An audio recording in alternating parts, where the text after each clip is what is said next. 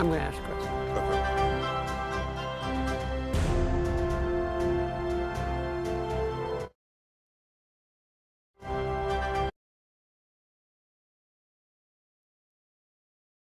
elections and have at least 10% support among registered voters as reflected by a reputable, experienced, and independent poll. Here are the ground rules. The moderator will ask the questions. The editorial content of the questions has been determined by our editor.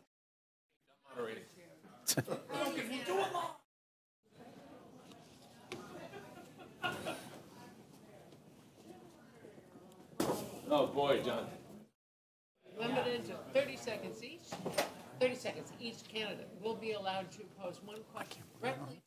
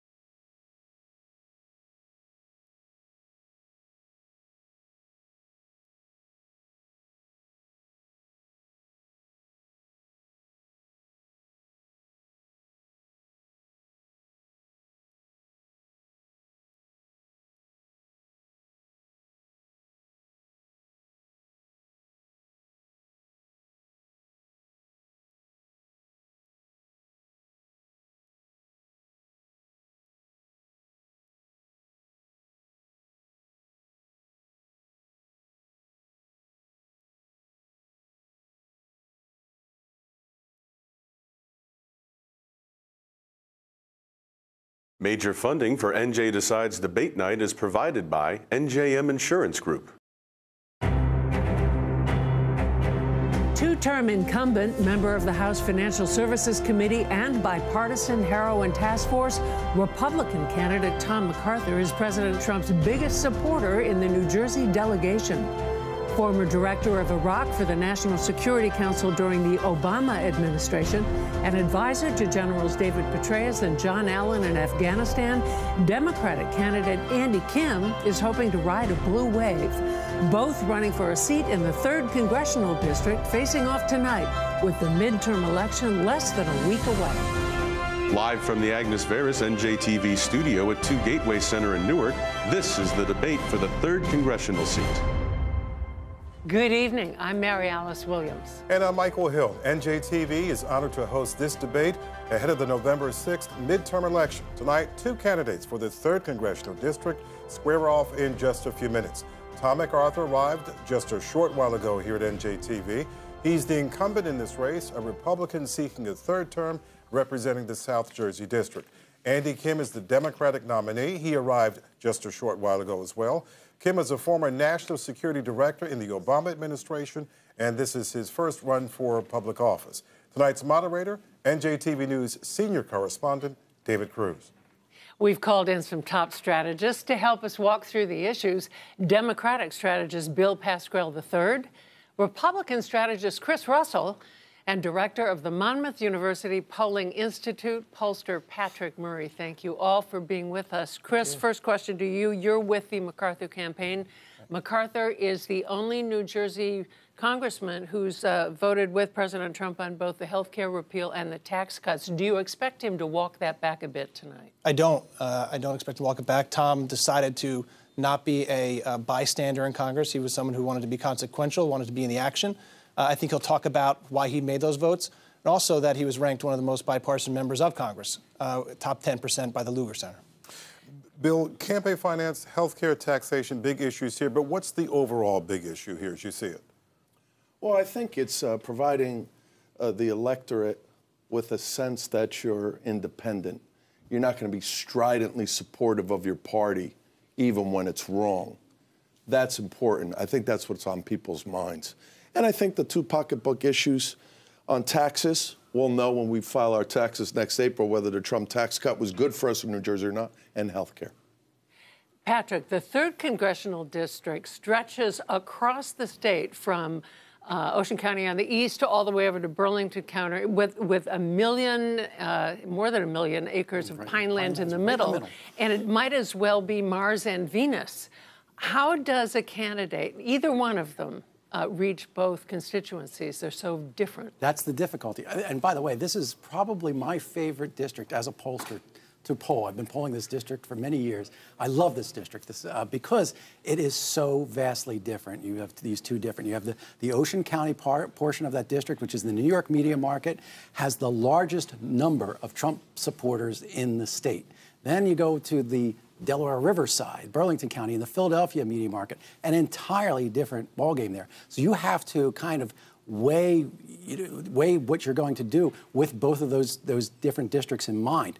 Now, in the past, the Ocean County portion of the district, which is smaller, has actually had more sway because the, the Republican has gotten a, a, much larger advantage out of there. We're seeing in our polling, though, that that's being offset by this Democratic enthusiasm in, uh, in, in the Burlington County portion of that district, and that's the that's why this race is so close. Obama won this district in 2008. He won it again in 2012. Trump won it in 2016. Is that correct? Right. So this is just really, is this still a toss up at this point in this district? Yeah, absolutely. It is a toss up. And that's what we're finding districts like this across the country. There's a lot of these types of Obama Trump districts in the Midwest are really, uh, are really, really a toss up. Uh, because those, uh, those Trump voters, a lot of those Trump voters want change. And so they're looking for somebody who can bring change. And sometimes that also means the incumbent congressman could get tossed out. I think in this case, that's not the reason why this is close. I think it's, it's the, that, that Democratic portion. But that's what makes this race interesting. Andy Kim has uh, is very well financed in this campaign, but has really has to break through. Tonight is his big public chance to do that. What does he have to do, Bill? I think he's got to do what he's been doing from day one: be genuine, talk about his Jersey roots, talk about his approach. He's not a partisan in any sense. Obviously, his credentials are awe inspiring and very impressive. But I think he wants to talk about how he's going to differentiate himself from the congressman that's there now. And I think he'll do a fine job doing that because proof is in his record. He's not been a partisan politician, he's an independent thinker. He's advised both Democratic and Republican administrations adeptly. Time to get down to business now. The candidates here have qualified to be on the official ballot published by the State Division of Elections and have at least 10% support among registered voters as reflected by a reputable, experienced, and independent poll. Here are the ground rules. The moderator will ask the questions. The editorial content of the questions has been determined by our editorial staff and has not been shared with any candidate. Each candidate will have 60 seconds to answer. Should the moderator allow follow ups or rebuttals, responses will be limited to 30 seconds. 30 seconds. Each candidate will be allowed to pose one question directly to his opponent. While there will be no opening statements, candidates will be allowed 60 seconds for closing statements. And a coin toss chose the order of closing statements and podium positions. With that, we turn it over to senior correspondent David Cruz. Thank you, and good evening, everyone. Mr. Kim, Mr. MacArthur, thanks for being with us tonight. I want to begin with a discussion about some of the events that have taken place in the country over the past couple of weeks. In that period, we've seen two people shot and killed in a grocery store because of their race, mail bombs sent to prominent elected officials because of their politics, and 11 people killed in Pittsburgh because of their religion. Many are seeing this as the national, uh, the natural regression of the harsh and sometimes offensive rhetoric that now dominates our national discourse. Who or what do you think is responsible for this? We'll start with you, Mr. MacArthur. Well, thanks for hosting this tonight, uh, David. And, and the events of these last few weeks are, are pretty disturbing. I've been at a couple of vigils uh, with the Jewish community in both Burlington and Ocean County.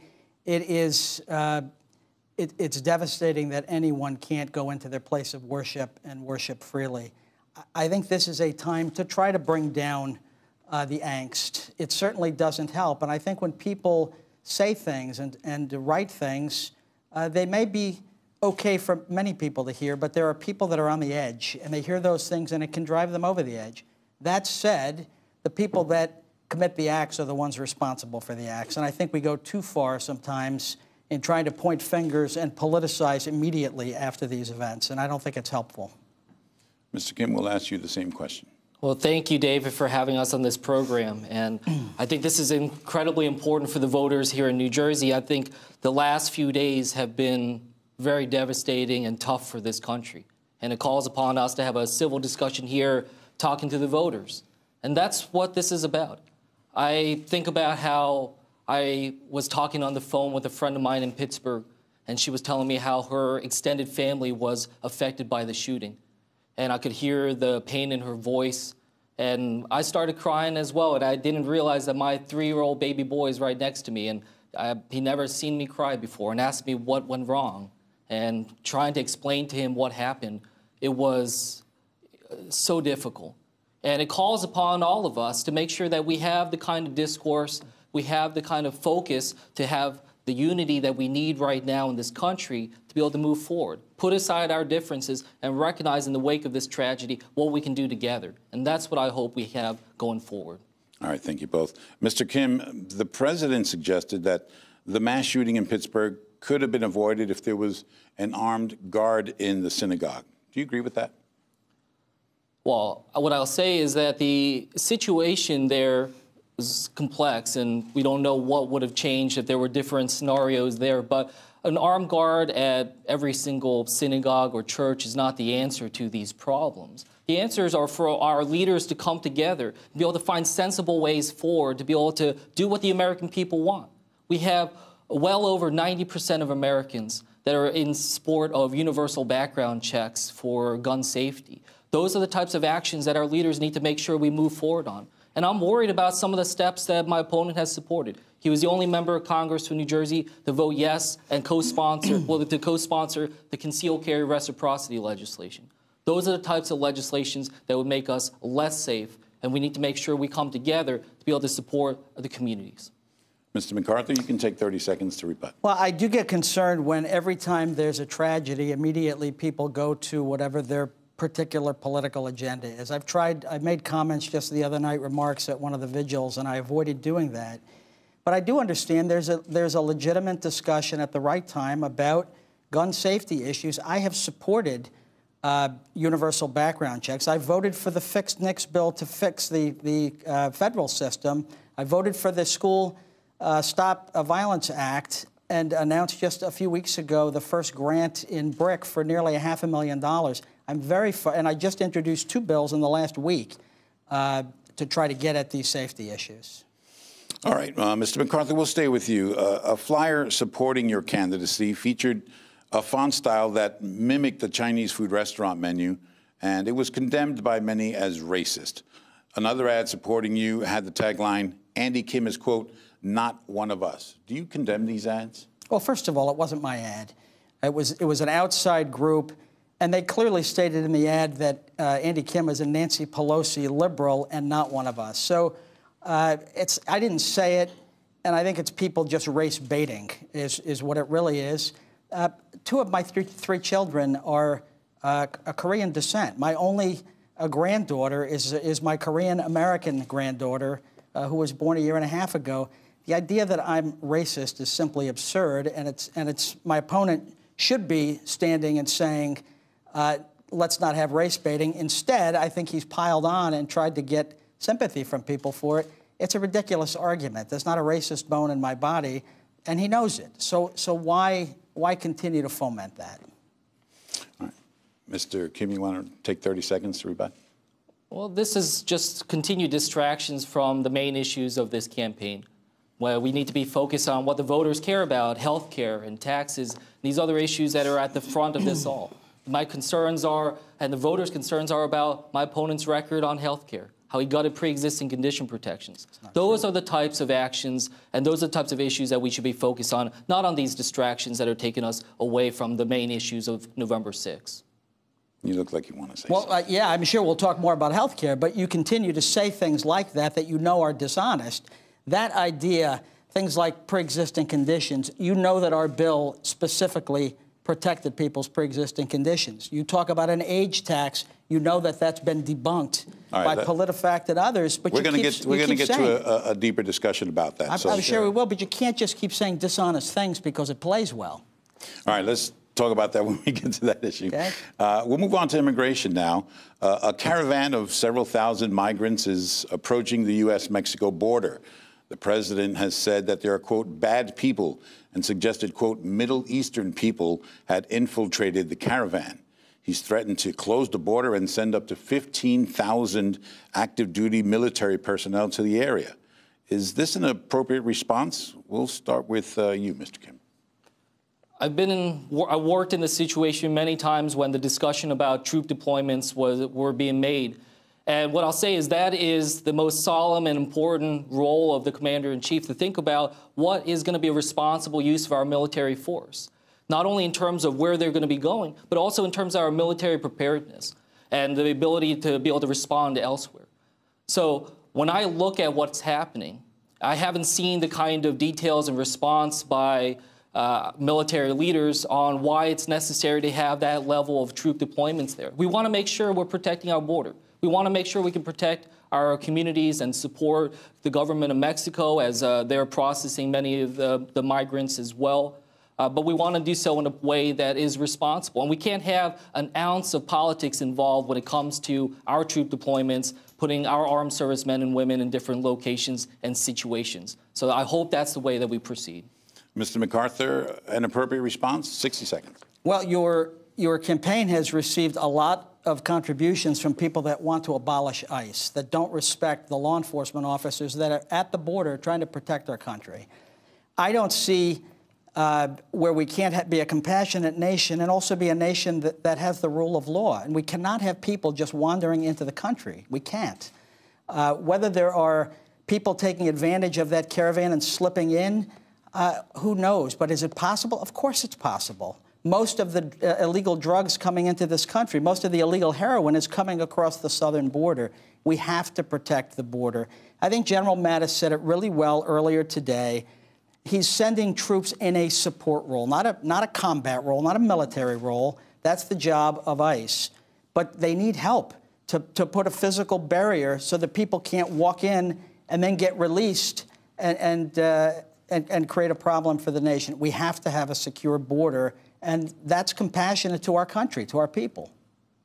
All right, Mr. MacArthur, the president says he wants to limit the number of legal immigrants. Important segments of the district's economy, including agriculture and tourism, rely heavily on immigrant labor. What do you think the impact of this policy could be on the local economy? Well, it's a real issue. We voted on two immigration bills before recess, and I uh, voted no on the one that cut immigration numbers uh, significantly for that very reason. Uh, we are at a low unemployment rate, a 50 year low unemployment rate. We can't continue to grow our economy if we don't have people coming in. But they have to come in legally. We have a million people coming in legally. We have uh, years of backlog for people that want to stay in the country, want to become citizens. We can't let other people jump the line. Uh, even as we uh, give visas for people to come in seasonally, we, we can do that, but we can't just have people coming in and, uh, and taking advantage of our, of our immigration laws. That's not good for the country either. We have to balance both. Mr. Kim, you want to take 30 seconds to respond to that? Well, I agree. We'll want to focus on the legal pathways and make sure that we're going through that in the same way that my parents came to this country. I'm the son of immigrants, and this is something deeply important to me personally. So I hope we can make sure that we do that in a bipartisan way be able to make sure that we take the steps that are needed to be able to address these issues. So I agree on many of those points. All right, on um, health care, we asked viewers to send us some questions that were important to them. Uh, the first of those concerns health care, and for that we turn to our partners at NJ Spotlight and John Mooney. Hi, David. Uh, as we've done in the previous debates, we're here in the newsroom monitoring and joining in conversations online, be they Reddit, Facebook, uh, Twitter, of course. Um, and over the course of the last month, we've heard from hundreds and hundreds of readers and viewers and, and talking about what they want to ask the candidates and then being able to pose some of those questions. The latest one comes from Lauren Izzo, uh, Rizzo, I'm sorry, a 33-year-old IT consultant who, like so many of our readers, cares about healthcare costs. And much of her family actually are Canadians. I spoke with her today, and she, while uh, obviously living under a single-payer system, while she's not necessarily advocating that, she says something must be done. And her question to the, con- to the candidates is, what should, could, can, can we do about the rising costs of health care and health insurance? Thanks, John. That's one of the biggest issues you gentlemen know uh, in the district. Mr. MacArthur, you were a key player in the efforts to repeal the Affordable Care Act.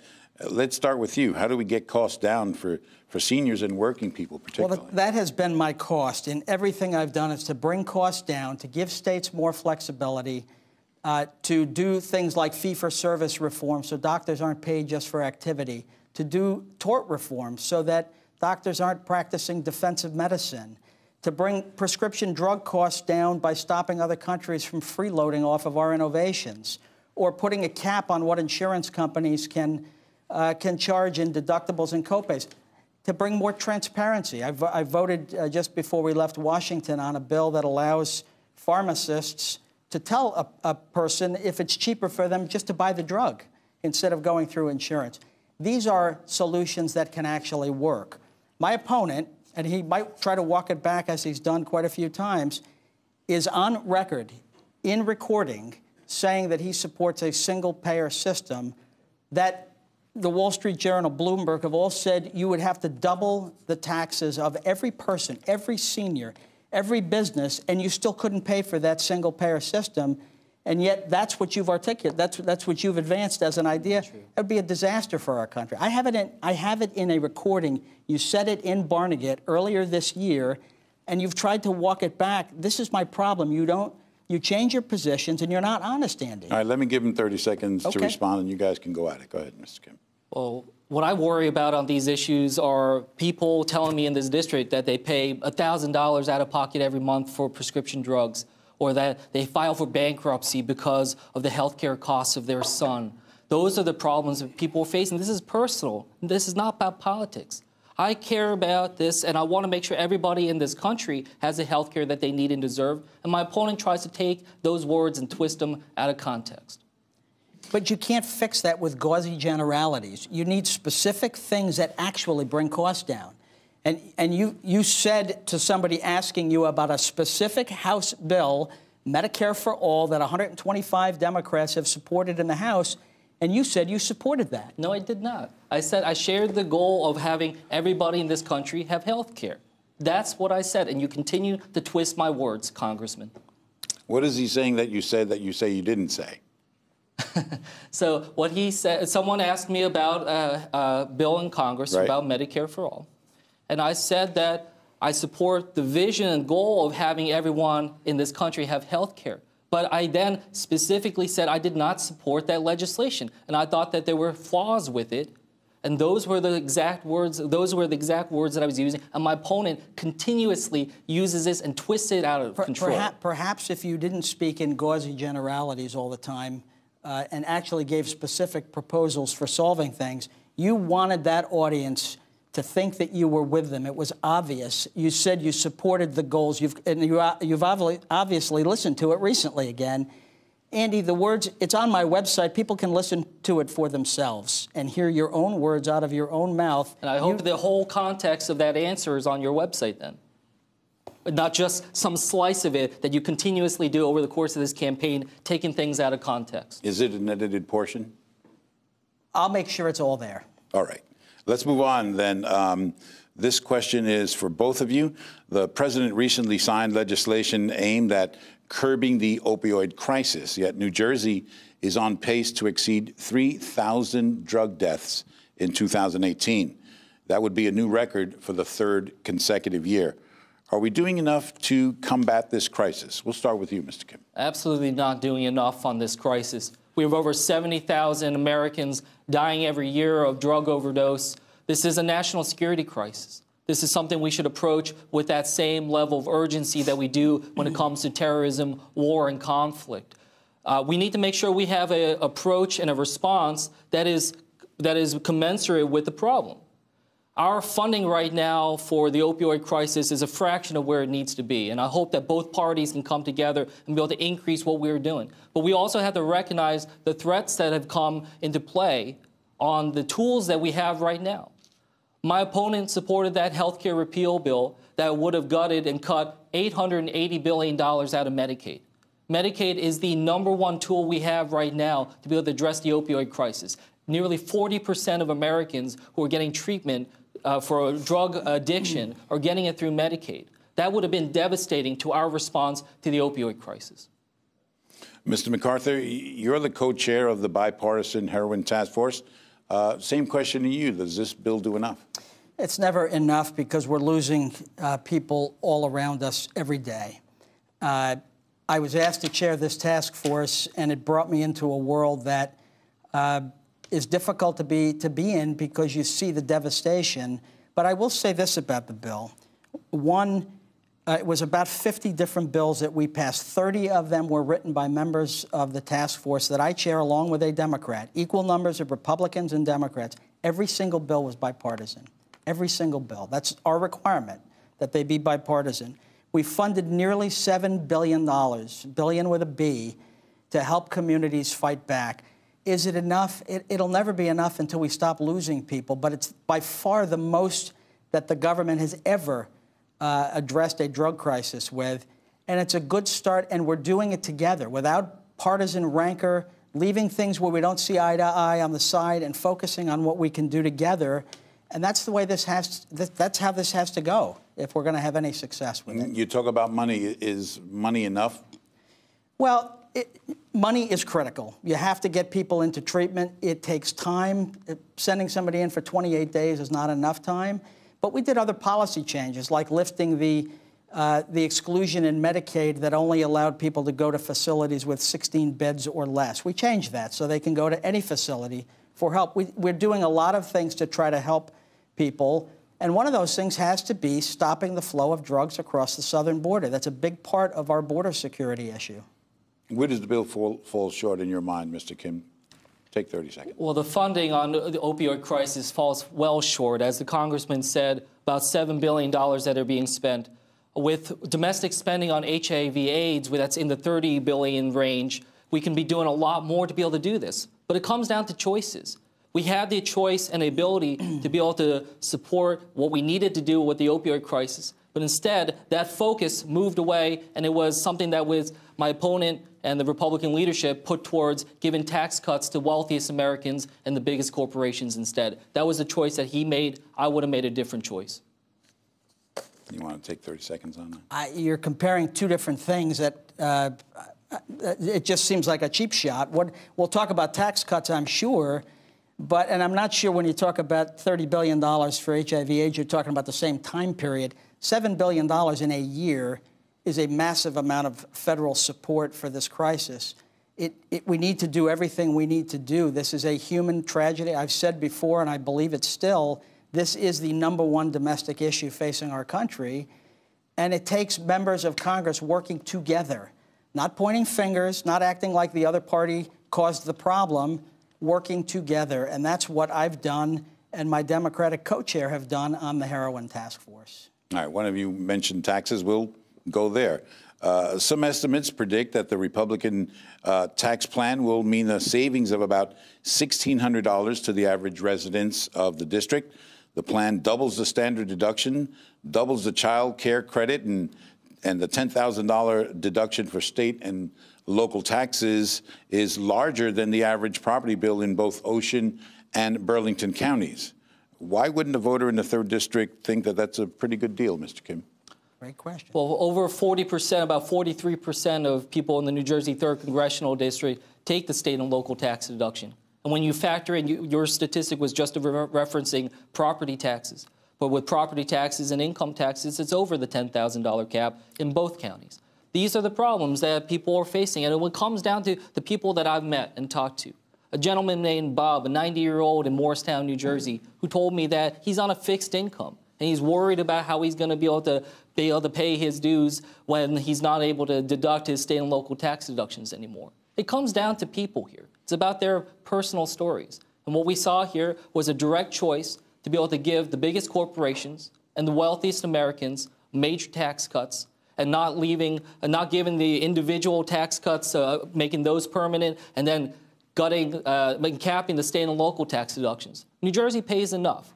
We only get 76 cents back for every dollar we put into the federal government. We should be uh, making sure we stand up for that in Washington. Uh, Mr. MacArthur, uh, on the other hand, this tax cut is costing something like uh, a trillion dollars, or close to a trillion dollars. Can the country afford that? Well, uh, I'll answer that, but you said really well all the reasons why it was good to vote for the tax bill. The $1,600 is for a single person. The average family of four in this congressional district is saving over $3,500 a year, $35,000 over a 10 year period. And everyone knows where I stand. I voted on it, and I, and I was one of the key negotiators that took the, the state and local tax deduction from zero to $10,000. I think it's a fair question. Will you vote to repeal it? Because you say it's a disaster. You've called it a sham. You're going to have an opportunity to ask him a direct question okay. later. In the meantime, I'll, but, I'll but do I, the questions, but, but, go ahead. But I think, it's a, I think it's a fair question. If it's so terrible, are you saying you're going to repeal it and raise everyone's taxes in this district? As far as the cost goes, if we grow the economy at about a half a percent more per year than we were growing it over the last 10 years, and we sustain that, it will pay for itself. All growth beyond that will help us bring down our national debt. This is our best shot. It's not a slam dunk, David, but it's our best shot at bringing down our deficit by growing the economy. It's good for it's good for families, it's good for businesses, it's good for employers and employees. And our economy is booming because of it. Uh, I don't see, I just don't understand why my opponent thinks the sky is falling when, when things are going so well. Mr. Kim? My opponent was saying that everyone knows where he stands on this issue. I agree. We know where he stands on this. He stands with his party leadership that he votes 94% in line with.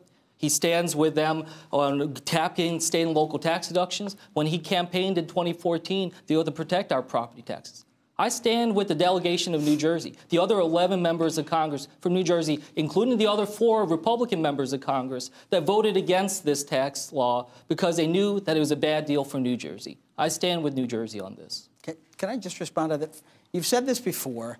I guess your idea of leadership is if people are going this way, you're just going to follow the herd because that's obviously the way to go.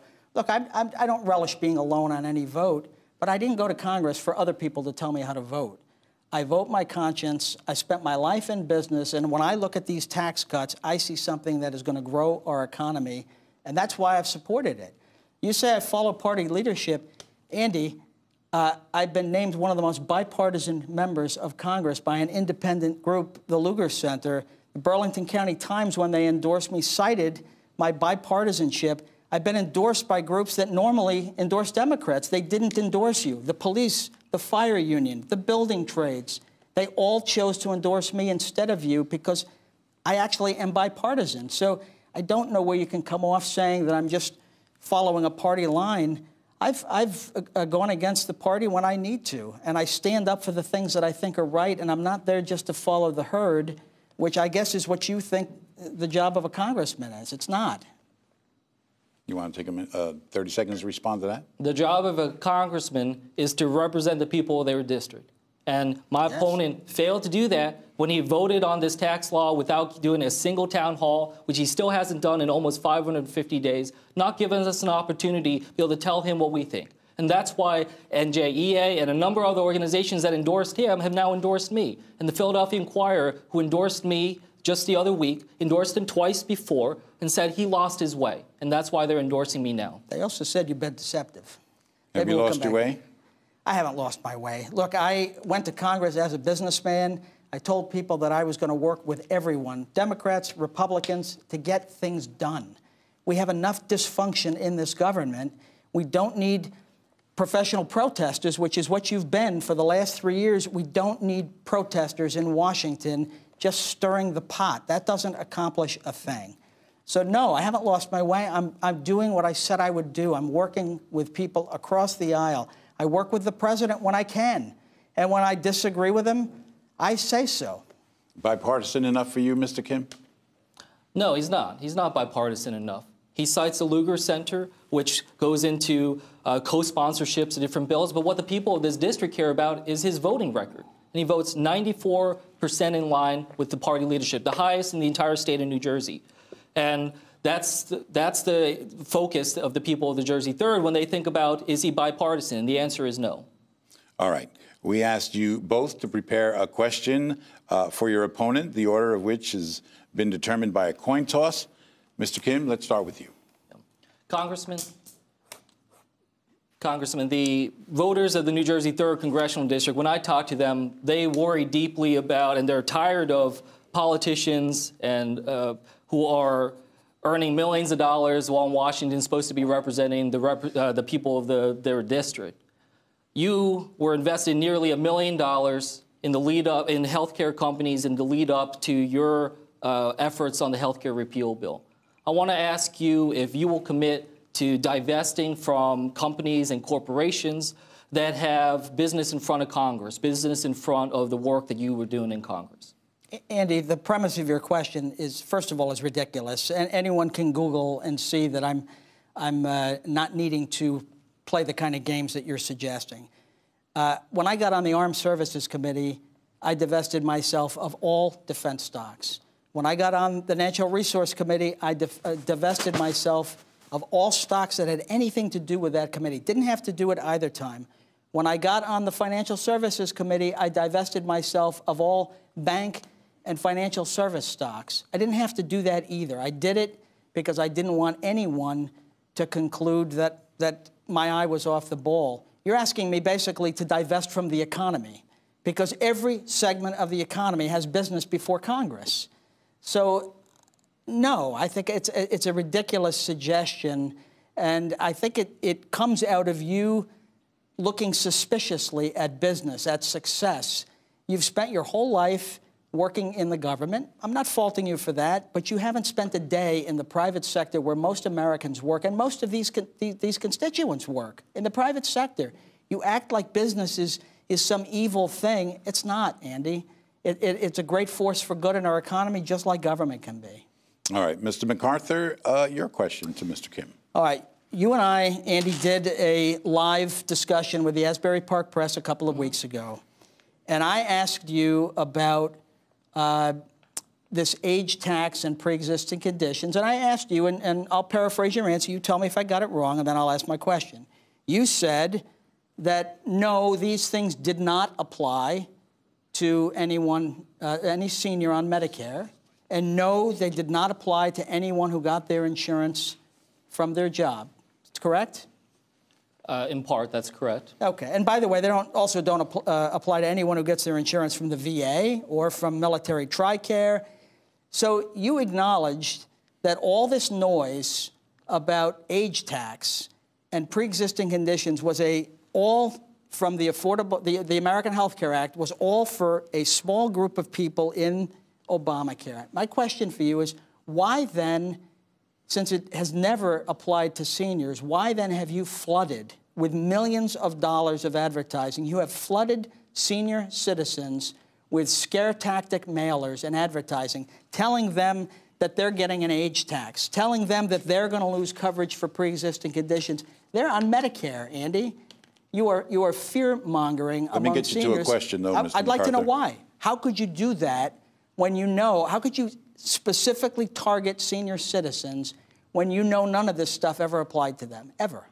Well, I'm really glad you raised this issue, Congressman, because the age tax, that's something that AARP called it an age tax. They read your amendment. You misquoted they, them. They read, no, I did not misquote let 'em them. answer. They Okay. read your amendment and said This is an age tax because Americans over the age of 50 who are, and, and those not on Medicare could be subject to be charged five times more than younger Americans. That was what the AARP said. It has 38 million members. I trust them. I trust their words and I trust their analysis, an independent organization. So that's what they said, and, we, and, and many other medical organizations, the American Medical Association, uh, panned the MacArthur Amendment for what it did in making, uh, potentially making uh, healthcare unaffordable for those with pre-existing conditions. Your bill opened up those floodgates, opened up that type of attack. So I'm glad you raised this question So because it's something that is important for the people. So you didn't Amer- answer the question, though. Let, that let bill. him, let him answer. Let him answer. you're targeting senior citizens when you know, first of all, that never became law, and secondly, it never touched senior citizens or people over 50 that got their, ins- their, their insurance from their job. Never covered them, never touched them at all, and yet those are the very people you're targeting. Why? Why do you target them with your advertising? Well, I'm glad your bill never made it into law, and that's been able to prevent a lot of the problems that we have. But we've been very clear that this is something that was targeting, um, that would have targeted Americans over the age of 50, so they could be charged up to five times more. And if they are in not that situation where they lose their employer health care, if they're not able to get on Medicare because they're not of age yet, those are problems that they need to know about. And that's why the AARP, a trusted source for issues related to uh, Americans, seniors in this country, said it was an age tax. All right, we're going to move on, uh, gentlemen. Uh, according to the Sentencing Project, New Jersey has the highest disparity in the nation of incarceration rates between whites and blacks. Blacks are incarcerated at a rate 12 times that of whites. How would you address this issue? We'll start with you, Mr. Kim. This is a really big problem and one that's not just here in New Jersey, but we see it all over the country. And I hope that we're able to take the steps to be able to address this. I think steps about how we're able to deal with um, uh, bail bonds, how we're also able to deal with drug of nonviolent drug offenses. Those are the types of actions that I hope we are able to move forward on and make sure that our judicial system is one that's going to be equal, one that's going to be able to deal with those that have uh, the greatest uh, offenses, especially violent crimes, and be able to treat those fairly, those that did not have those violent crimes, but make sure that we're doing this all in a way focused on keeping our communities safe. Mr. McCarthy, you want to take 30 seconds to answer that? Sure, I, I don't know the cause in New Jersey. I do know this, though. Justice needs to be colorblind. And I think it, it is always important to ask if there are disparities among different groups, why? Uh, one issue that's come up a lot is uh, the use of marijuana. A lot of people are in, in uh, jail over that. And I have supported looking at different criminal penalties for that, not legalizing it, but looking at different criminal penalties. And, and that perhaps might help. I've, I've heard others argue that that would help a lot. You mentioned marijuana. Let's uh, yes or no from uh, either of you. Would you support the legalization of adult use marijuana? Not for recreational use. I've, I've seen on our heroin task That's- that's force, not it's a, one word. gateway. Sorry. But it's not, it's a gateway drug for some, David. I support for medical purposes at this point. But not for adult recreational That's use. correct. All right. Uh, we're going to move on now. You've accused each other of being beholden to special interest groups. Can you name those groups uh, and and why your asso- your opponent's association with them is bad for the district? We'll start with uh, you, Mr. MacArthur. Naming his groups? Naming the, I'll, I'll read the question again. All right. Uh, you've accused each other of being beholden to special interest groups. Can you name them and why your opponent's association with them is bad for the district? Well, my opponent has made a big deal about not taking corporate uh, PAC money. Big, big deal. And yet he takes money from people who take corporate PAC money. Like Bob Menendez, he stood with him, said he was a great man. He campaigned with him. He's taken money from him. He's taken money from a lot of others who want to shut down ICE, sh- shut down, uh, uh, ha- have open borders. He's taken money and campaigned with Elizabeth Warren, who voted against the joint base not once, but three times. The joint base in this district, largest employer in the district. And, and probably the biggest special interest group is the one he's been trying to hide from, his own. Andy Kim founded an organization called RISE immediately after President Trump was elected president. He has been a, a professional protester since this president was elected and has done all sorts of very active, I hope we'll come back to this, but active things to protest the president, organizing conventions, uh, marches with people that call for jihad against the president, and he's tried to hide from that and deceive voters about it uh, for, for this entire campaign. Mr. Kim, what are the groups that, uh, the special interest groups that he's associated with, and why is that association bad for the district? I've promised, as my opponent said, I promised not to take corporate PAC money. That was something very important from the outset of this campaign, is showing that I'm going to be focused on the people of this district. Because that's a contrast to my opponent. My, my opponent takes enormous sums of money from corporate PACs. He received over $500,000 of contributions from pharmaceutical companies, insurance companies, and wrote their health care repeal bill. Those are the types of actions that I was trying to get to, again, with the question that I asked him about who is he working for? Who is he trying to represent in Congress? Because he's not holding town halls, he's not talking to the people of this district and giving us the kind of voice that we need in Washington. And that's why I continue to point out what he did on health care, that he was the only member of Congress from New Jersey to vote yes on that tax bill. Those are the problems that I see with the way that he's operated in Congress. Now, I'm going to give both of you another 30 seconds to uh, respond to that. Let's start with well, you. You just accused me of being in the bag with pharmaceuticals. That is ludicrous. You have campaigned with Cory Booker and Bob Menendez, who have both taken millions of dollars from pharmaceutical companies. And Andy, you are at the end right now of a $900,000 ad buy with the DCCC. That name will resonate with voters because they've been seeing those ads blanketed, and you authorized them. Your name is at the end. I'm Andy Kim, and I approve this ad. They are flush with corporate dollars and you've done a coordinated ad buy with them. And, and meanwhile, you try to look like you're holier than thou, like I don't touch PAC money. Where are you getting all your money from, Andy? You've raised enormous sums outside of Jersey, and all of the supporters running these ads on TV are running them with corporate dollars, and you want to pretend like you're innocent of it. It, it's the, that, it's that's the hypocrisy. Your time. That's your time, Mr. MacArthur. Mr. Kim, go ahead. I'm proud of the campaign that we run. I'm proud that we've run a campaign that's about the people. We've had hundreds of small dollar uh, town hall, uh, uh, small dollar uh, house parties and other events throughout the district.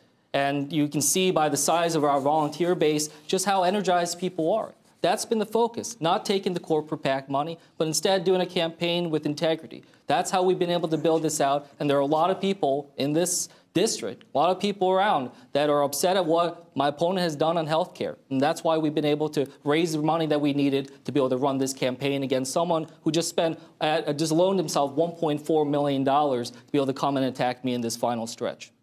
All right, but you didn't answer the question. $900,000 you just spent with the DCCC. You didn't respond to it. All right, let's turn to a discussion of Social Security, Medicare, and Medicaid, so-called entitlement programs. Our business correspondent, Rhonda Schaffler, has this report. Social Security, which provides guaranteed income in retirement, has been in place since the 1930s. Medicare and Medicaid, which provide health care to senior citizens and the poor, have been in place since the 1960s. And while millions currently receive these benefits, some of the programs are running out of money. Each year, the Social Security Board of Trustees releases a report on the long term financial health of America's entitlement programs.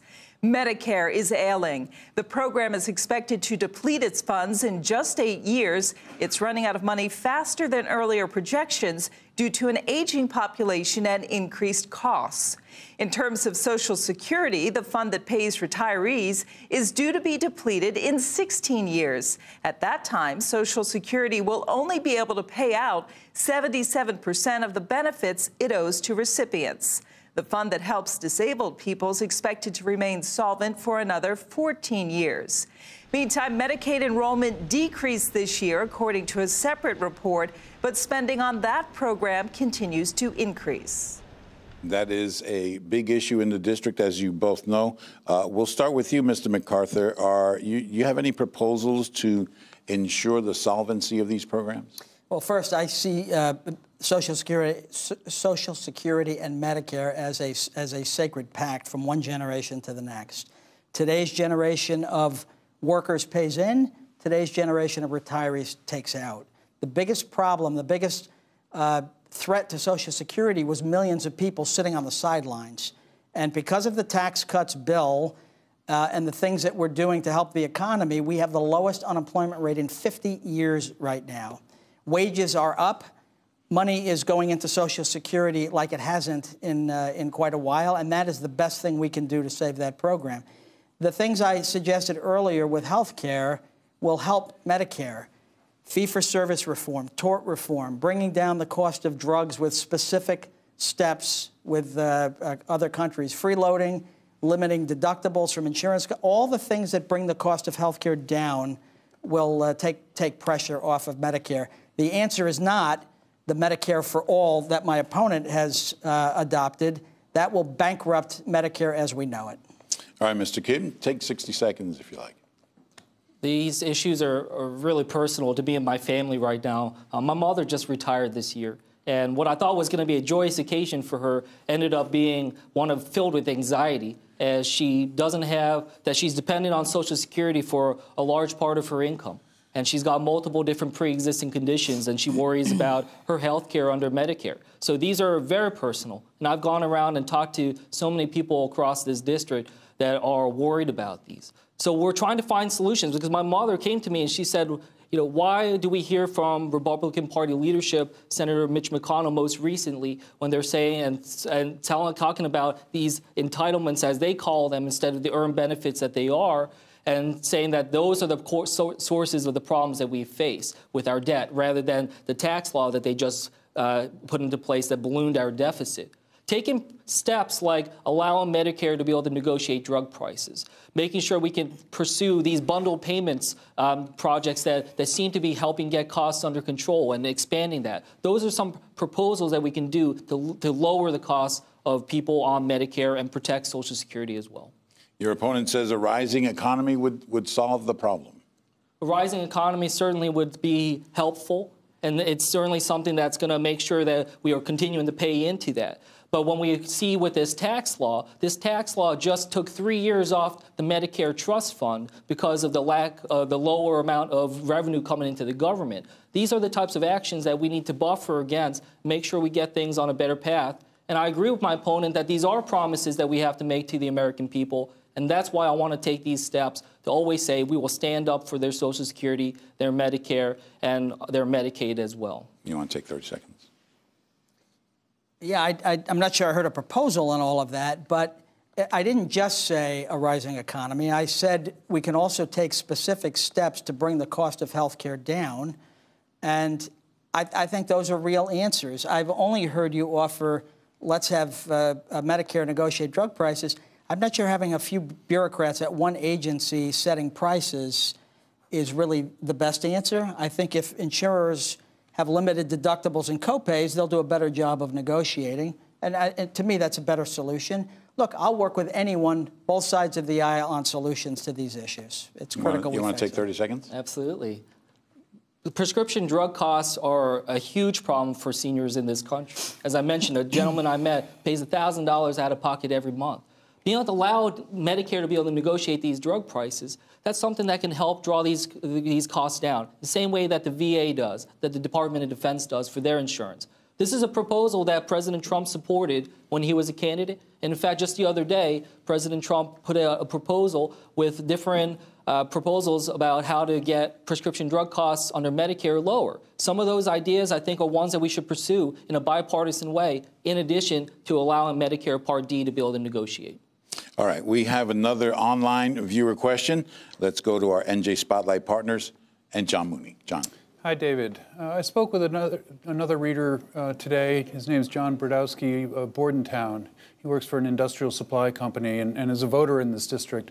And an issue he's really cared about is the student loan debt that is facing uh, many of his friends and family. And, and he, he talks about how it limits the, their hopes and dreams before they even you know, get started. And he's heard sound bites on this in the campaign, but he, he certainly would like to hear more. Specifically, his question, should Congress work to alleviate the crushing student debt issue plaguing college graduates? All right, John, thank you.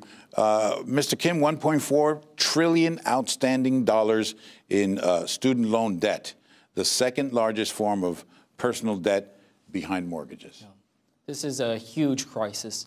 And could be the workings of uh, the next financial crisis of our country if we're not uh, taking the steps to be able to alleviate this. But that aside, this comes down to very personal issues. I remember talking to a young couple just a couple days ago who were telling me that they made decisions about when to get married, when to get a house, when to get a car based off of their student debt.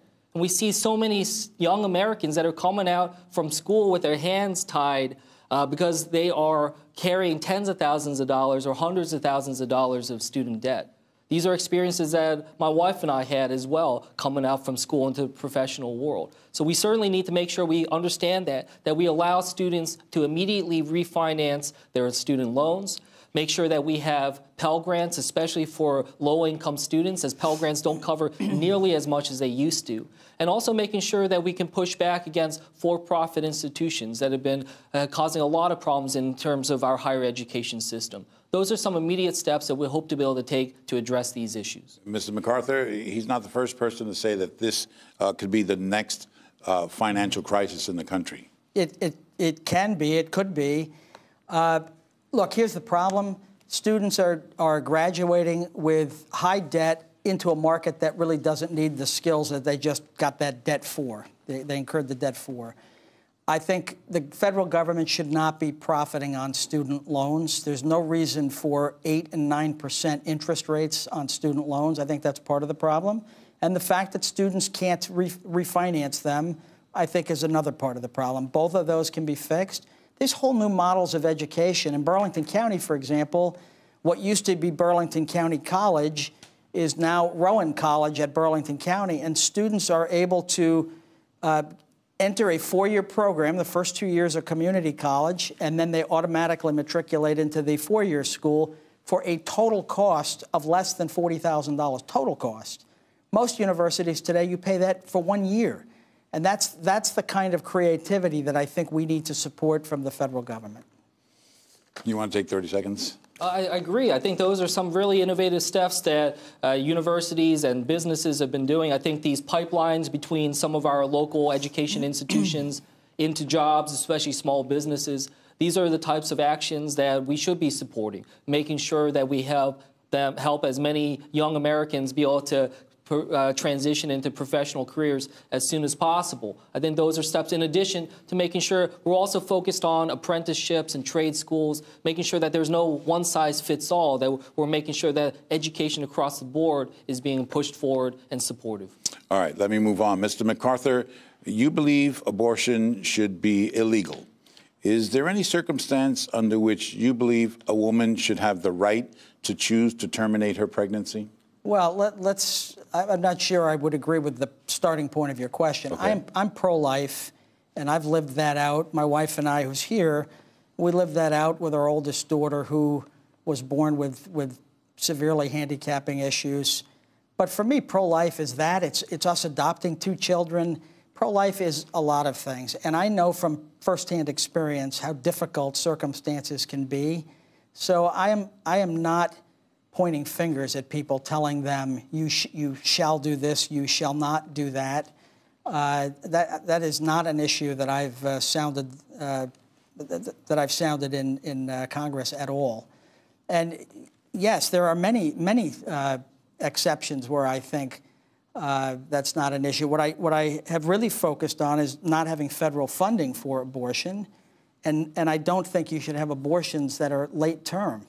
Uh, I think most Americans agree with that, but, but, uh, but the basic issue has been resolved by the court many decades ago, and I have not uh, been somebody trying to push back at that. All right. Mr. Kim, you support legal abortion.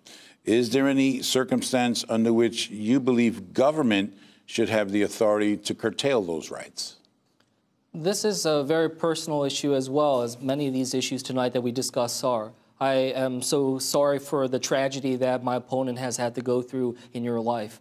I, I had a health crisis not nearly as, as severe or, or, uh, or, or uh, as difficult as my opponent's.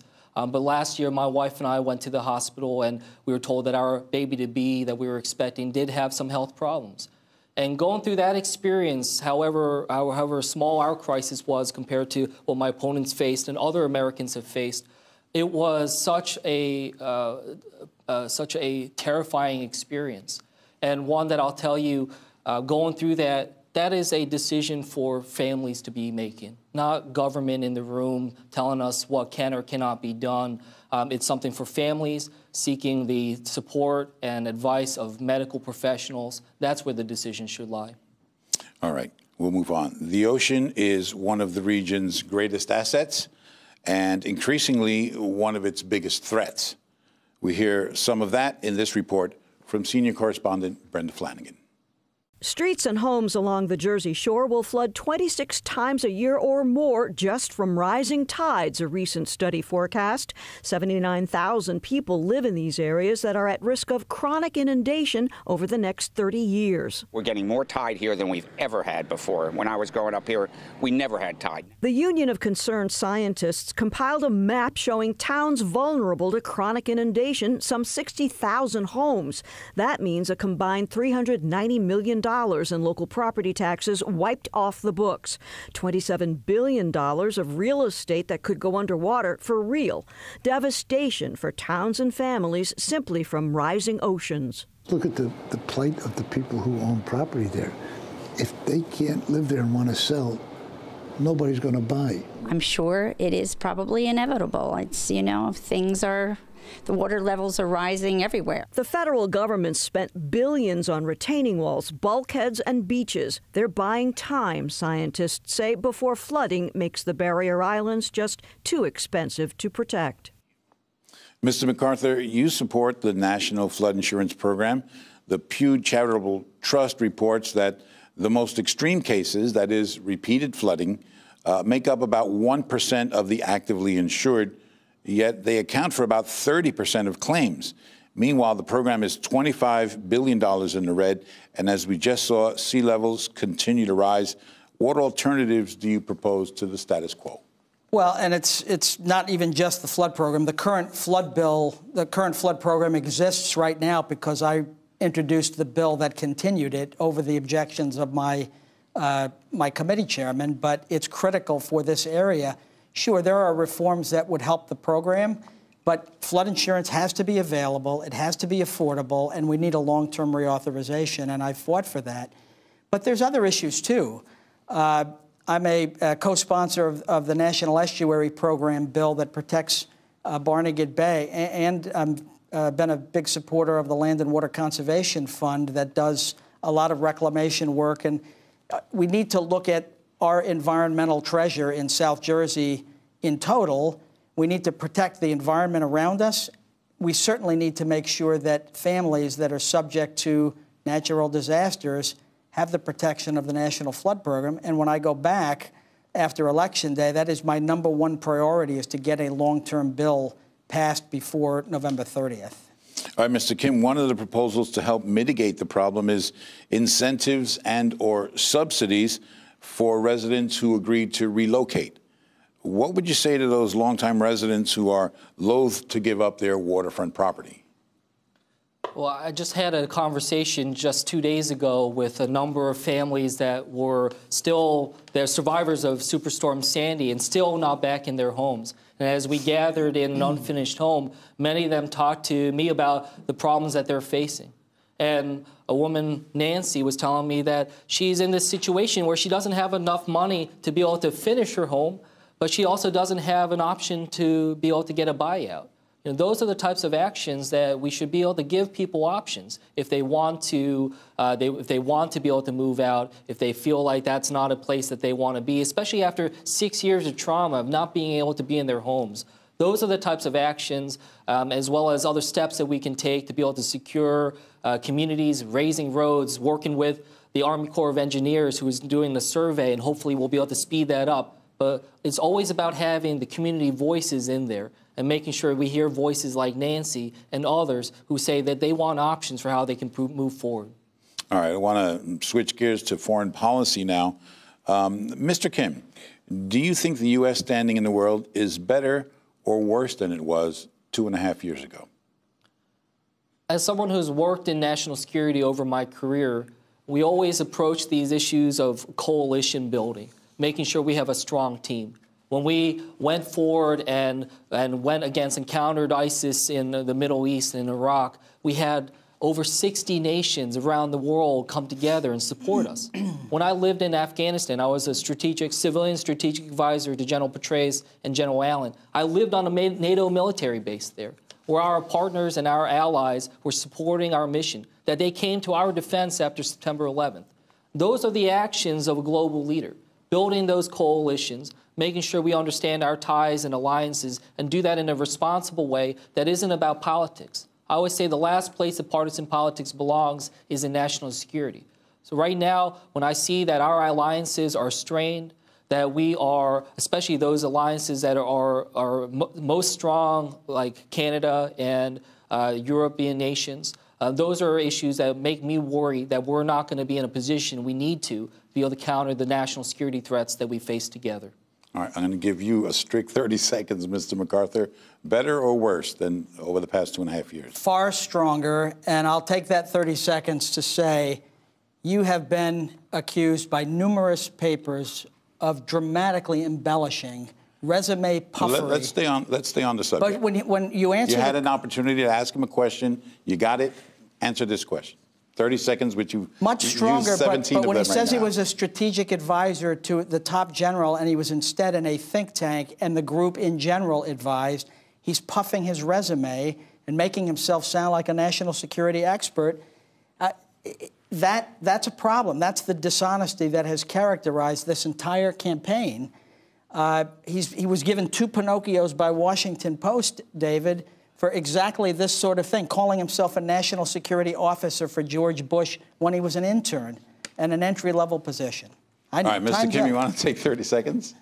I'm proud of my record in national security. I'm proud of the work that I did out in Afghanistan or in the Situation Room over at the Pentagon. That's why General Petraeus himself said that I served with distinction on his personal staff. So you're incorrect, Congressman. I know you don't understand the different situations and understand. the staffing of general officers. Maybe you would have if you ever visited our troops in Iraq or Afghanistan during your time in Congress. All right, let's um, move on. Um, Mr. Kim, this question is for both of you, but I'll start with you, Mr. MacArthur. I'm sorry.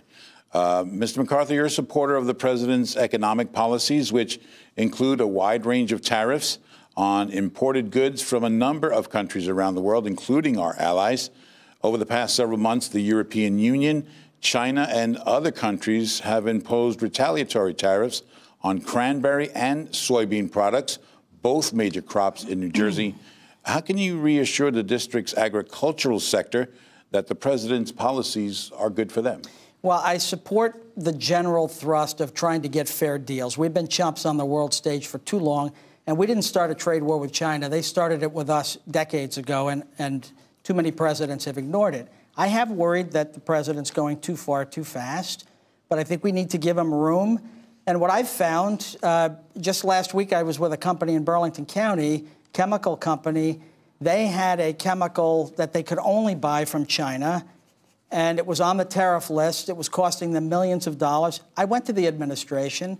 I explained it. I got an exception got that chemical removed, and that company is, is now saving millions of dollars per year. I think having strong policy, uh, tariff and trade policy, and then making exceptions, I think is, is a, a winning recipe for this, uh, uh, for this country. Mr. Kim, take 60 seconds on the same question. You know, the, these Tariffs are certainly caught a lot of businesses off guard, especially a lot of small businesses. There's a neighbor of my opponent's who approached me and told me that his business uh, has uh, taken a 25% hit uh, in terms of their industry because of tariffs. Those are the types of problems that we see right here in this district. And what I always want to make sure we do is focus on the American workers, make sure that they're getting a fair deal that we're making sure that environmental standards and labor standards are being fair across, across the, the, the globe. Um, but we can do this in a way that's strategic. And we understand what the goals are uh, this administration is trying to achieve. And those goals aren't made clear to me. And I want to make sure that we can operate and you can use Congress to make sure we understand where this approach is going, what the strategy is trying to get towards, and make sure we don't catch industries off guard and have to do a $12 billion bailout to the agricultural industry as a result of these types of actions. They seem uh, not to be uh, done in, a, in the way that we need to be precise when we're dealing with people's jobs and people's businesses. All right. Mr. MacArthur, the U.S. military has been engaged in Iraq and Afghanistan for almost two decades now. Uh, the two wars have killed over 7,000 U.S. military and injured tens of thousands more. Uh, some estimates put the civilian casualty rate at over half a million civilians, with both countries seemingly no closer to peace than when these wars began. Is it time to consider pulling back from these operations, and how do we accomplish that? Well, I, look, I think the, the president has tried to focus efforts. The last president tried as well. These are difficult areas. Uh, my opponent has claimed involvement in that. I, I do wonder sometimes if he put, you know, the JV squad in President Obama's ear, but that was a disaster. The policy of the last administration with the Yazidis, where tens of thousands of them were killed because we dithered. We didn't allow coalition countries to do what they needed with ISIS. This president has made a lot of progress with ISIS. They basically have been wiped off in terms of having a, a physical caliphate. They've been wiped off the map. Why, why wasn't that done when my opponent says that he was a national security expert in that very part of the world? And, and yet we get a new administration with more resolve, uh, allowing coalition partners to do what they need, not micromanaging the Department of Defense from the White House, and suddenly we have amazing results. Mr. Kim, 60 seconds, same question. I've worked on Iraq and Afghanistan over the course of my career. And I approached this as a civilian advisor out in Afghanistan, approached it working at the Pentagon, working at the White House. And that whole government approach is what's needed. That strategy having a good team and a good strategy moving forward. And this is something that I'll admit that both sides of the aisle, both uh, administrations, uh, well, last three administrations have not been able to do in the way that we need. We have now U.S. military servicemen and women who are going to be able to go to Afghanistan this year who were in diapers on September 11th. These are incredible problems that we have, and we absolutely need to be thinking about and have that real conversation about being able to pull ourselves out of these types of conflicts in a responsible way, making sure that we're not the ones carrying this burden. That was the type of effort that we tried to put forward when we're dealing with Iraq to make sure we're not entering back in and having to carry all that weight, that we do this in a way where we empower partners, build that coalition of 60 nations to make sure that that burden doesn't fall on the United States alone. Those are the actions of a responsible government and a responsible global leader. All right. It's but, time for your closing statements, the order of which was determined by a coin toss. Mr. Kim, you're first. Well, thank you so much, David, for having us here. This was incredibly informative to the people of the New Jersey 3rd Congressional District. This election is all about choices, the choices that my opponent made when he took contributions from pharmaceutical companies and insurance companies and wrote their health care repeal bill. When he was the only member of Congress from New Jersey to vote yes on that tax bill. I've made different choices over my career. I chose to be a public servant, to work under both Republican and Democratic administrations, to volunteer to go to Afghanistan and work in the Situation Room. I also made a choice last year when I was in the hospital waiting room with my wife and we're worried about the, the health of our baby to be. I made a choice to stand up to my opponent who took those actions that gutted pre-existing condition protections in order to score a political victory. I want to always choose to stand with the people of New Jersey, the, my home district, the district that gave me everything. Stand up and protect Social Security and Medicare. Stand up and protect our health care and lower prescription drug costs. And that's why I'm asking for your vote on November 6th. Mr. MacArthur. David, thanks for doing this, and I'll talk directly to the voters. Thank you for watching tonight. There has never been a more important time to have people in Washington that are willing to put aside partisanship, work together on real solutions, and solve problems. I said four years ago when I went to Congress that I would be that person, and I've kept my word.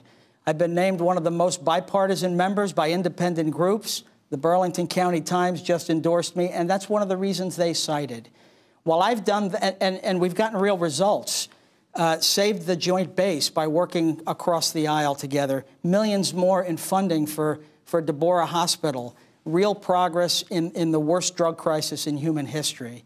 While I've been doing that, my opponent has been a professional protester. He started an organization called Rise Stronger immediately after President Trump was uh, elected. He organized conventions. He uh, incorporated board of directors, organized marches, stood with Linda Sarsour as she called for jihad against this president.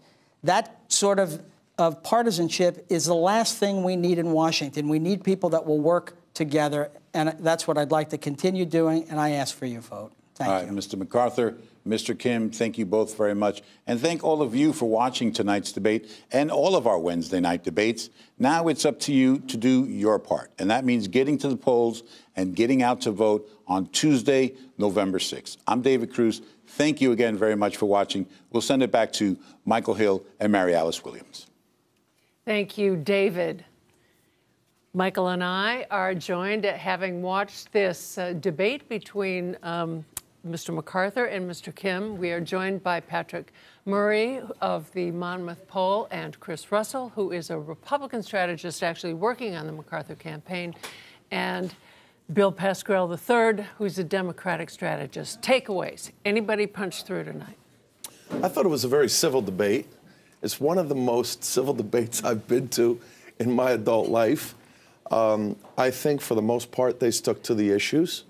There was a little bang at the end uh, uh, when Congressman MacArthur went at Andy uh, Kim, but I thought Andy acquitted himself well. But I mean, this is a real. I think this district is a bellwether for what's going to happen next Tuesday. Um, if, if MacArthur's able to hold on, I think that bodes well for the Republicans, and maybe the uh, blue wave uh, will not be as intense. But if Andy Kim wins, uh, that's going to set the, the, the, the, wave going west. And this is a tight race. And I think Andy Kim acquitted himself well in his first public debate, and he held his own. Chris, your takeaway? I thought I thought I agree with Bill. I think it was, it was civil uh, and on issues, and I think on those issues, Tom MacArthur proved that he's far far more well versed on those issues, both in the district and nationally. Uh, I thought he landed some some good punches in terms of the the difference between bipartisanship and partisanship. Uh, he's got a record that's proven that. Andy Kim spoke in very general terms about most of those things. So uh, I think a good night for MacArthur, but again, a civil debate, like Bill said. Patrick Murray, what are the national implications of this race?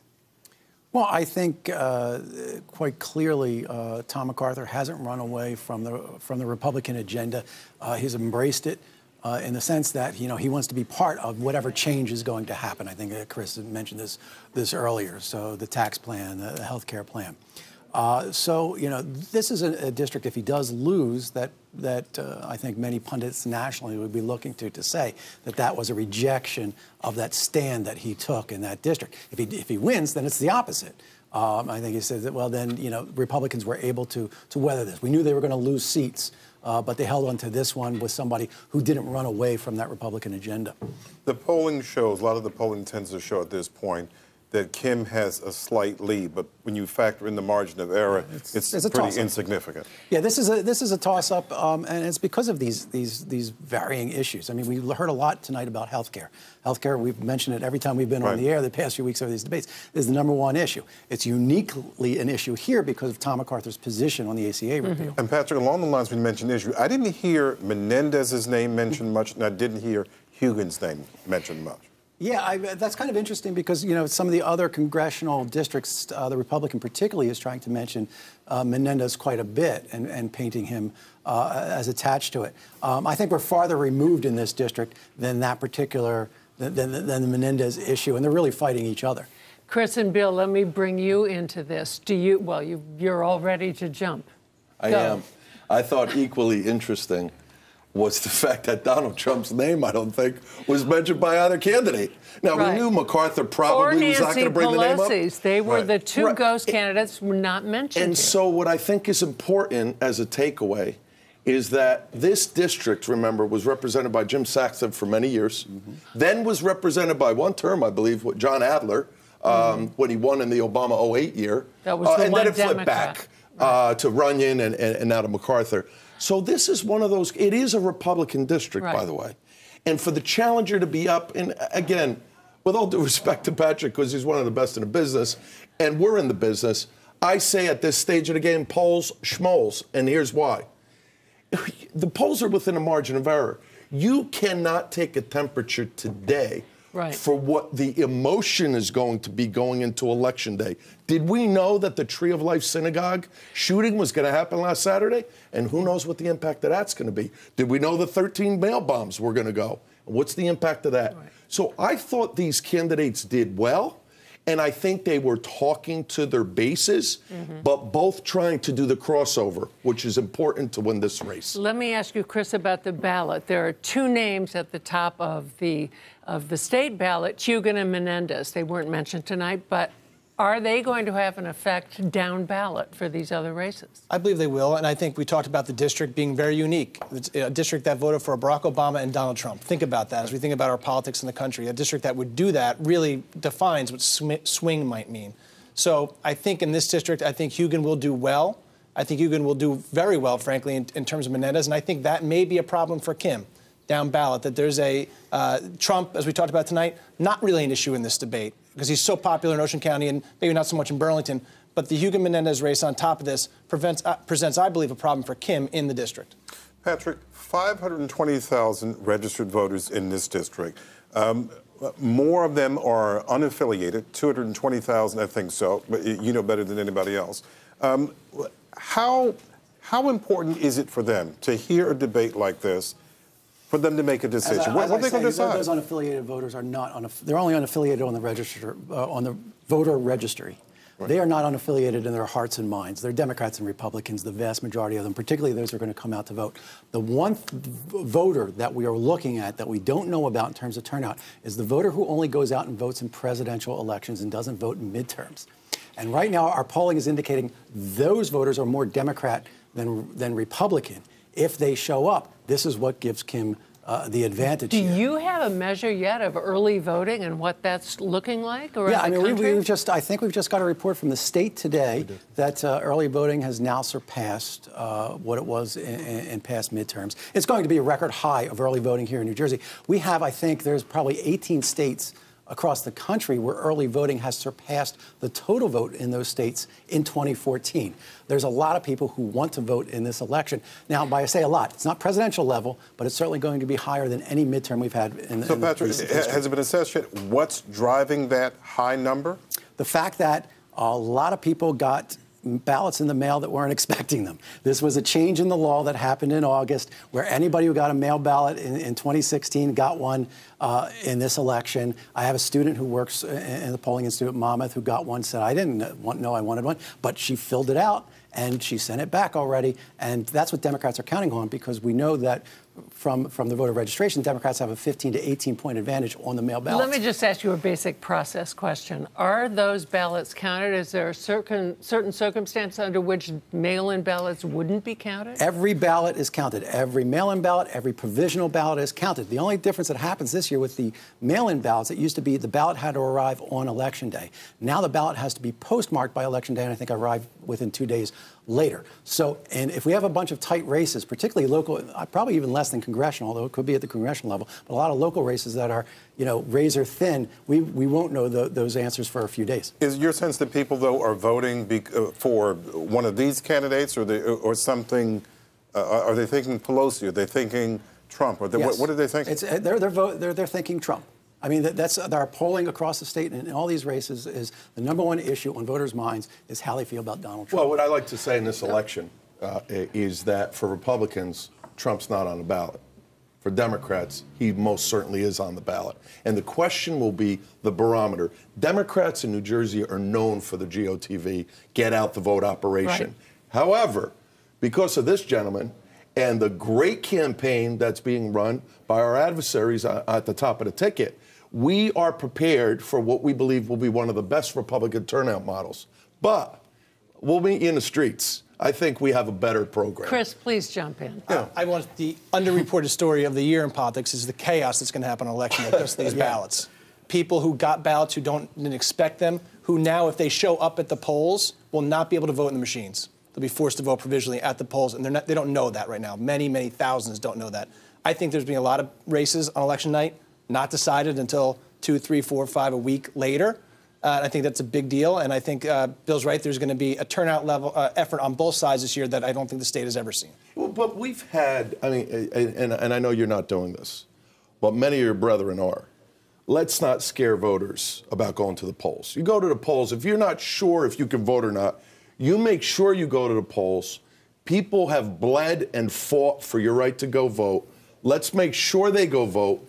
And those votes, as Patrick said, will be counted. And by the way, we have provisional ballots all the time in elections. This is not unique. What I think is being referred to is what Governor Murphy did in encouraging a more aggressive VBM process, vote by mail process. But this state is very well capable. We have a very honorable Secretary of State who's, who's overseeing election. I have no doubt in my mind there won't be problems, as some will suggest at the polls. Let's check out now some of the online voting in our unscientific poll, Patrick. This is if the election for the 3rd Congressional District were held tomorrow, who would you vote for? And there is the result there. Still can vote in this poll. MacArthur there uh, getting some, uh, what is that, almost 70%? and Andy it. Kim about Chris says he'll take it 30%. Patrick, of course, yeah, unscientific. Right, and these are always a reflection of your audience and, and, the engagement of your audience. Well, I think what's interesting is in the first two congressional races, that, that debates that you held, uh, the, the, audience was evenly split. Uh, mm-hmm. On this one, we see a more Republican audience, and that's because I think think of all the operations, all the Republican operations uh, statewide, the one in Ocean County, the Republican operation in Ocean County is just uh, without parallel. And um, I think that, you, that, that probably reflects that in some way. We said campaign finance reform, taxation, and health care were some of the big issues. Another result now, the online polling there. Take a look at this. The most important issue, can we get that up? There it is. Which of the following issues is most important to you? We see health care is up there, but taxes uh, outpacing healthcare. You can still vote in the online poll. Welcome to New Jersey. Taxes are yeah, an issue, right? I mean, they're always right. an issue. Mm-hmm. Healthcare obviously has popped up, like everyone's talked about, for the reasons of Tom's vote and, and just the fact that the ACA uh, repeal. But taxes are always going to be an issue in New Jersey, uh, especially in a district that leans a little bit Republican. Taxes matter. People feel burdened. Governor Murphy's budget raised taxes. It's always going to be an issue. This this race is tight as can be, as are two other congressional races, two other House races, plus the Senate race. The national implications of those four battleground contests, the Senate race and the three district, three, district seven, district 11 races. Yeah, I, um, I'm going to put the Senate race aside because I'm just not buying this. It's a toss-up stuff, and I've said this okay. before. I just, I don't. Um, so you, on Wednesday morning, you can tell me if I'm wrong. But the, the, the congressional races, and we got to include the second in this as well, which, which is the, the highest rated race to flip in the entire country from Republican to, to Democrat. So there's four races in, in, New Jersey that could flip from, from Republican to Democrat. And what we're seeing, particularly over the last week, and Bill mentioned some of the events that have happened recently, and I'm seeing in our polling just over the last weekend that these northeastern suburban districts that were saying, I like my, I do like my incumbent Republican member of Congress, and these are the higher educated white female voters are saying, but what's nonsense that's going on nationwide, I just can't fathom that, and I think I'll just vote Democrat. Hmm. That, and that's and, and New Jersey is kind of the epicenter of that. So, Chris, what does that mean for Republicans. For Republicans in the state. Well, listen, I think I think Bill made an incredibly uh, excellent point earlier that I think on election night, the outcome of these races in New Jersey will kind of give you an indication of where the nation's going.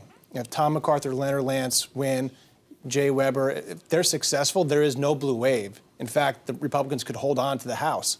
Uh, if there's some kind of split, I think we're close. If, if all three of these guys lose, there is a blue wave. So I think New Jersey very much is a bellwether for the country. 30 uh, seconds, Bill. I, I, agree with that. Uh, if, if the Democrats can't pick up uh, three of the four, uh, you know, if we pick up two, which I think we're going to at least pick up the two, I think the 11th is uh, pretty close to being a, a hard D uh, swing. But we still have a few days to go. If, if MacArthur and Leonard Lance happen to lose on election night, it bodes well but New Jersey is very different than a lot of these other districts throughout the country. Uh, you know, we are uh, a, state that is overwhelmingly Democrat, but I do think it is an indication of how suburban voters vote when we look at these other two districts. Bill Pascrell, Chris Russell, Patrick Murray, thank you very much for joining us. NJTV will be on the campaigns and have full coverage of the November 6th midterm elections. I'm Michael Hill. And I'm Mary Alice Williams. For all the men and women of NJTV, thank you for being here. We'll see you tomorrow on NJTV News.